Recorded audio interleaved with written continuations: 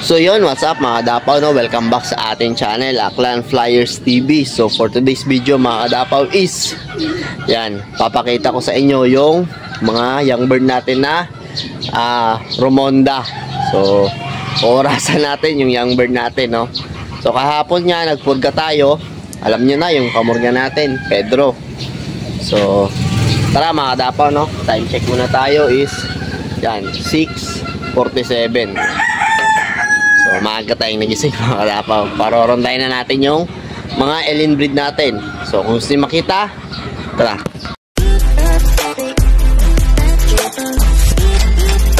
So, ito na yung mga young bird natin ng 120 days challenge. So, ito nga pala yung mga droppings. Ayan o, nagpurga tayo kahapon. Pero mga itlog lang, walang bulate. So, goods yan. So, tara. Mga dapaw, papakawalan na natin sila. So, andyan na sila mga dapaw. Anim. Isa lang yung, ah, dalawa yung ano dyan. Yung naka, naka all bird. Apat yung bandit natin. So, time check. Yan, 6.48. Ito na. May natira pa. Yun.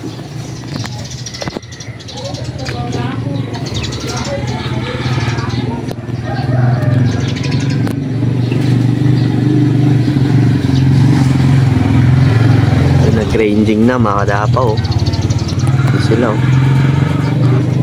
Hindi na natin matanaw.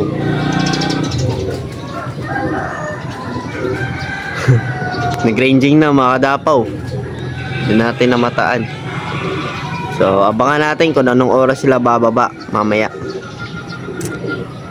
Yan. Ayos mga dapaw. So yan mga dapaw no. Habang wala pa yung mga alien breed natin ay magkakait tayo ng mga dumi nila. So dapat nga maging malinis tayo sa loft natin. Para tayo rin, ah, para rin sa atin yan. Para maging malinis at komportable tayo sa loft natin. Gaya rin ng mga ibon. Kung ikaw nga, madumi yung paligid mo, ayaw mo na dyan, ano eh, ayaw mo na dyan tumambay. Ah, yung ibon pa kaya natin na maselan. So, yan mga dapaw, no? Naglilinis muna tayo sa mga droppings nila. Ang gaganda ng mga droppings, mga dapaw. So, ngayon nga ay Monday. So, kahapon nagpurga tayo. Ah, magpa-flashing tayo, mga dapaw. So, yung pang-flashing natin ay bawang lang. Kasi hindi tayo gaano magamot sa ibon. So, ayos mga dapaw. So, yun na mga dapaw. Oh.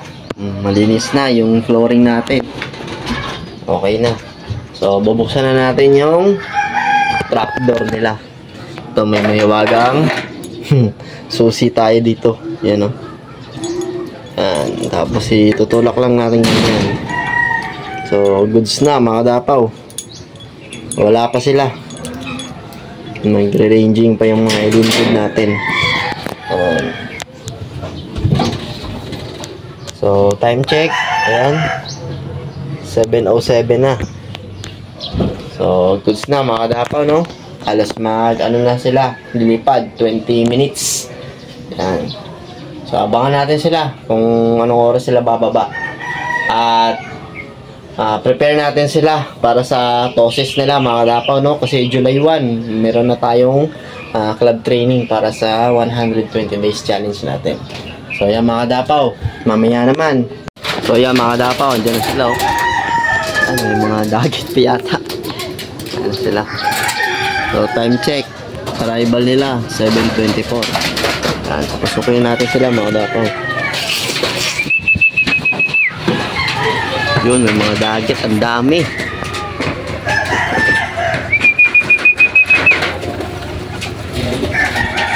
Ano? Hmm. Medyo hingal-hingal pa yung iba. Kulang isang oras, makadapaw na. Yan.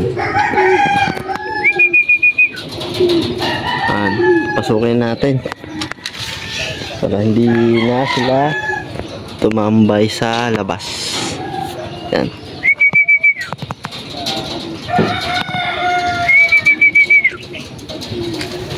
Yun. Very good.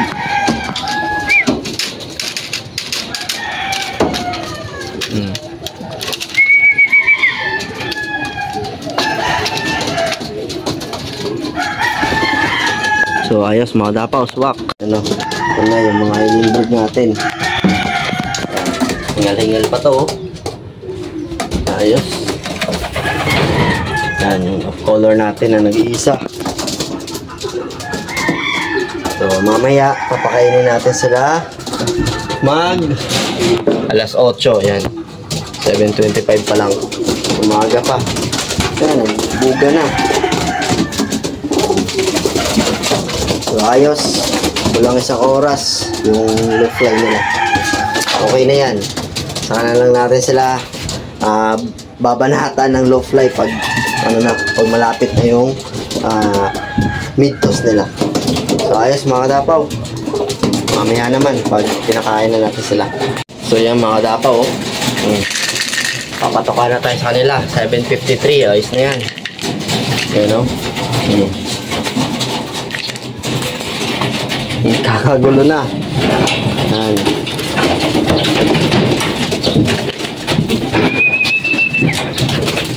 Nagkakagulo na. Ay. Yan ba? Sabi.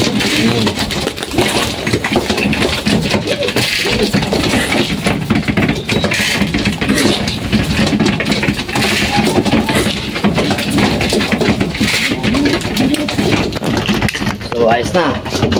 Pagka umaga, mga kadapaw, no, konti lang yung binibigay natin. So, ang gagana nila kumain. Gandang pagmasdan, mga kadapaw. Yan, oh, ipag-agawan pa. Hinibuka pa yung pakpak ng isa. So, ayos mga kadapaw, yung mga breeder naman natin yung papakay. Papakainin natin. Yan, nagpupulol pa tayo. O yan mga dapaw. Ayos. Yan mga dapaw, ubos na nila. Nagsisiliparan sila. Alam nila yung dessert. Mani. Ayan, bibigyan natin sila. Lalaroin natin. Grabe. Oh. So, ganyan yung ginagawa natin bago sila bigyan ng tubig.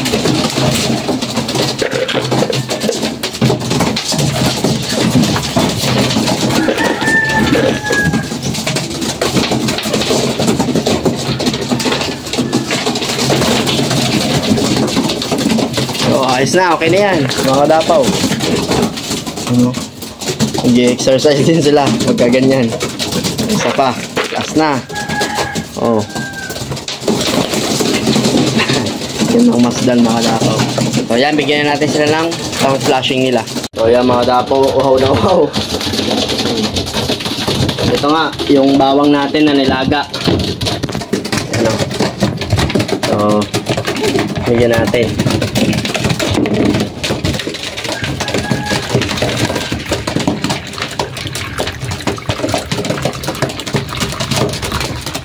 Sanayin nyo na yung mga ibon nyo sa bawang para hindi sila manibago pagdating sa ah, magpapainom kayo. Yan. So, ayos na mga dapaw. Yung mga breeders naman, bibigyan din natin sila ng bawang. So, alam niyo na mga dapaw ha. God bless.